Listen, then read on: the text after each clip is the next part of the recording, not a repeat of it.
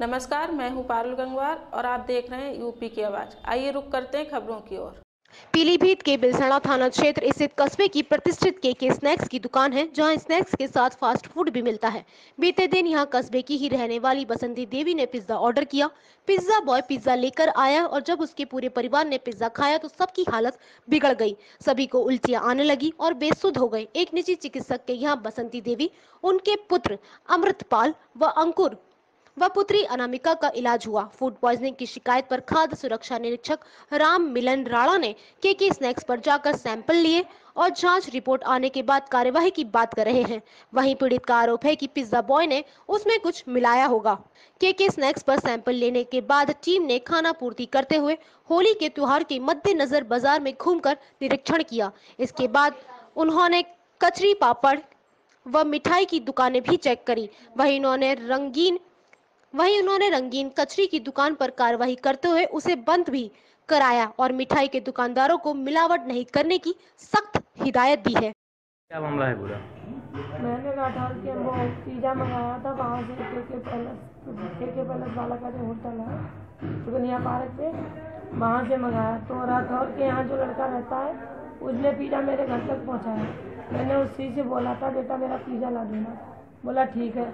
जब घर पे लेके आया तो मैंने कहा, बेटा, आप भी ले लो पिज़्ज़ा इसमें से। आप इतनी दूर से लेके आए हैं। कहा, नहीं आंटी, दो पिज़्ज़ा हमने इसमें से निकाल लिए। अब हम नहीं खाएँगे, हम दोनों अपना वहीं खा लेंगे। आप आप खा लेना। मैंने कहा, ठीक है, फिर घर चला गया उसके बाद हम लोगों ने हमने सबसे पहले मैंने खाया फिर अपनी बेटी को खिलाया।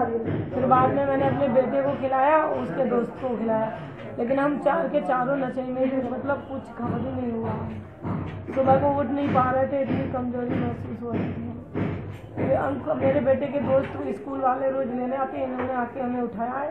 इसने बोला गेट खोलो तो गिरते गिरते हम गेट तो खोला है बच्चों को। लेकिन हमारे शरीर में बिल्कुल दम नहीं रही उठने के लिए और कार्रवाई इन लोगों ने ऐसा किया क्यों? हमारे साथ अभी अभी हमको एक शिकायत मिली फ़ोन पे कि यहाँ पे कुछ लोग जो है उन्होंने कल पिज़्ज़ा लिया होगा और उसको खाते कुछ बीमार शिकायत में हमारी टीम यहाँ पे जाँच करने के लिए आई हुई है।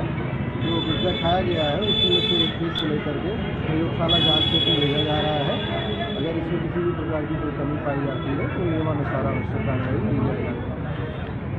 सर होली के त्यौहार के लेके जो मिलावटखोरी के जो है क्या अभियान चलाया जा रहा है? होली के त्यौहार पे हमारे खाद्य सुरक्षा की दो टीमों का गठन किया गया है जिलाधिकारी के द्वारा। ये दोनों टीमें दिनांक उन्नीस से होली के त्यौहार तक लगातार पूरे जनपद में सचल भ्रमण कर रही हैं और जहाँ कहीं भी आवश्यक समझती है मिलावटी चीज़ों को तो उनका सैंपल लेकर के। जाँच के लिए मैं यहाँ आज दूसरी बार आया हूँ। पहली बार भी ये दुकान बंद पाई गई थी।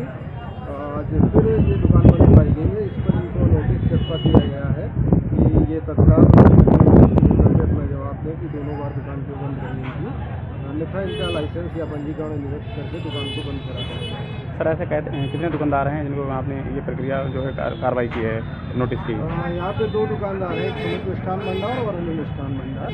जहाँ पे मिठाइयों की इस समय ज़्यादा बिक्री रहती है, वहाँ पर मिलावट की संभावना हो सकती है